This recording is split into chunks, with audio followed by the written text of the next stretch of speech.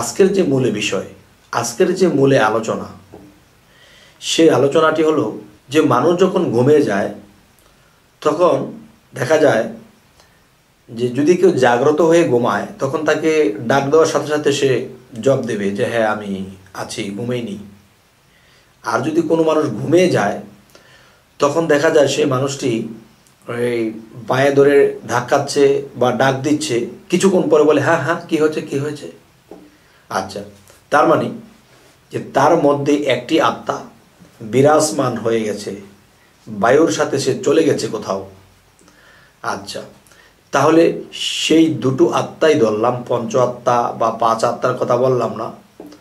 তো দেখা যায় একটা মানব দেহের মধ্যে জীবাত্মা, পরমাত্মা। এখন এই দুটি আত্মার মধ্যে কোন আত্মাটি বিরাজ হয়? তবে আমার জ্ঞান বলে যতটুকু জেনেছি, বুঝতে পেরেছি, এতে মানুষের মধ্যে যে জীবাত্মাটা আছে, এই জীবাত্মাটা বিরাজ করতে চলে যায়।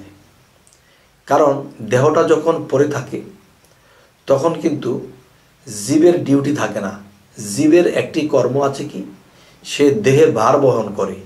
দেহ যখন মাটির মধ্যে বার বহন হয়ে আছে, তাহলে এটা এখানে জীবের প্রয়োজন হয় না। তখন জীব বাইরে ভ্রমণে চলে যায় এবং দ্রুত সে যেতে পারে এবং সে আসতে পারে। এই ক্ষমতা সে আত্মার আছে।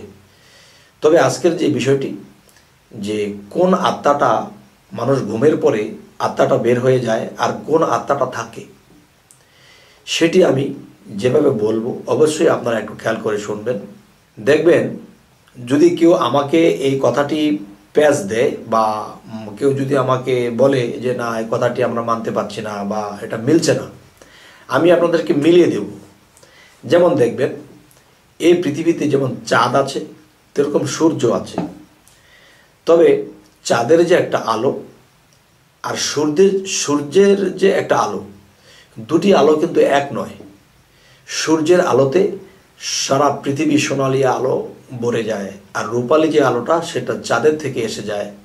তাই বলব যে রাতের যোজনার যে আলোটি, এটা সূর্যে দিতে পারবে না। এবং সোনালি আলো যেটা, সেটা সূর্যে দিতে পারবে কিন্তু রূপালি যে আলোটি, এটা সূর্যে দিতে পারবে না। আচ্ছা তাহলে মানব দেহের ভিতরে যদি আমরা যাই, তাহলে জীবাত্মাটা আমার থেকে বের হচ্ছে, আবার আসছে। আর আমার মধ্যে যে পরমাত্মাটা, সে আমি যখন কথা বলি, চলি, একটা ব্রেন খাটিয়ে একটা কাজ করি, তখন যেমন আমি লড়াচড়া অবস্থাতেও, জাগ্রত অবস্থাতেও, আমার মধ্যে সে পরমাত্মাটা বিরাজমান। এবং আমি যখন ঘুমিয়ে পড়ব, তখনও সে আমার মধ্যে বিরাজমান। তবে জীবাত্মাটা, সে চলে যায়। আচ্ছা তাহলে এটার যুক্তি যুক্তিটি হলো?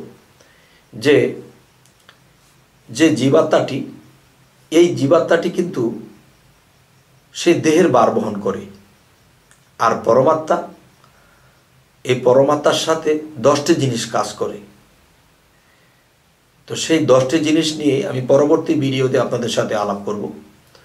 তবে আজকের যে মূল বিষয়, যে কোন আত্মাটি যায়, সে আত্মাটি জীব আত্মা বের হয়ে যায়, ভ্রমণে চলে যায়, আর পরমাত্মাটি দেহের মধ্যে থেকে যায়। এখন পরম এবং জীব উভয় যদি চলে যায়, তখন এই দেহ মৃত্যুবরণ হয়ে আছে। যেমন দেখবেন আপনি হাঁটাচলা করছেন, আপনার শ্বাস প্রশ্বাস চলতেছে। আর শ্বাস প্রশ্বাসের সাথে পরমাত্মা বিরাজ আছে। এবং আপনি যখন ঘুমিয়েও পড়বেন, তখন দেখবেন আপনার শ্বাস প্রশ্বাস চলছে এবং পরমাত্মা এর মধ্যে যাওয়া আসা করতেছে। তাহলে জীব আত্মা, সে কিন্তু ভ্রমণ করতে পারে বা বের হতে পারে। আর এটার প্রমাণ যে একটা ঘুমন্ত মানুষকে গভীর নিদ্রায় যদি কোনো মানুষ যায়, তখন তাকে যখন ধাক্কা দেওয়া হয় বা জোরে ডাক দেওয়া হয়, তখন সে উঠে মানে হরদিশা হয়ে যায়। কে কে কে? তাহলে বোঝা গেল কি? সে জীবাত্মাটা তার এত গতি যে পৃথিবীর অপর প্রান্তেও যদি চলে যায়, এক বলতে বলতে সে এসে এখানে পৌঁছাবে, যেহেতু তার পরম এখানে আছে। যাই হোক আরও একটা প্রমাণ হলো, চাঁদ কিন্তু মাসে তিন দিন দেখা যায় না। জীবাত্মাটা যদি আমরা চাঁদের সাথে মিলাই তখন দেখা যাবে যে মানুষের নিদ্রা আছে, এই দেহের একটা রেস্ট আছে, জীবাত্মার একটা রেস্ট আছে। চাঁদের তিন দিন চাঁদকে দেখা যায় না।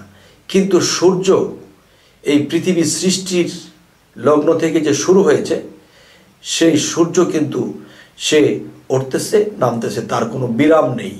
যেরকম মানব দেহের ভিতরে এই পরমাত্মার কোনো বিরাম নেই। সে যদি বন্ধ হয়, সবে তুসনাস হয়ে যাবে, দেহ পড়ে যাবে, এই দেহ আর টেকানো যাবে না। তবে এই জগতবাসী জানি না আজকের এই আলোচনাটি আপনারা কেমন জ্ঞানে নিলেন এবং আপনাদের কেমন লাগল, অবশ্যই আমাকে কমেন্টে জানাবেন। এবং আমাদের এই চ্যানেলের আলোচনা যদি আপনাদের ভালো লাগে, তো অবশ্যই সাবস্ক্রাইব করুন। পরবর্তীতে ভিডিওগুলো আপনাদের কাছে পৌঁছে যাবে। তো আজ এই কথা রাখ রাখব। সকলে ভালো থাকবেন। আল্লাহ হাফিজ।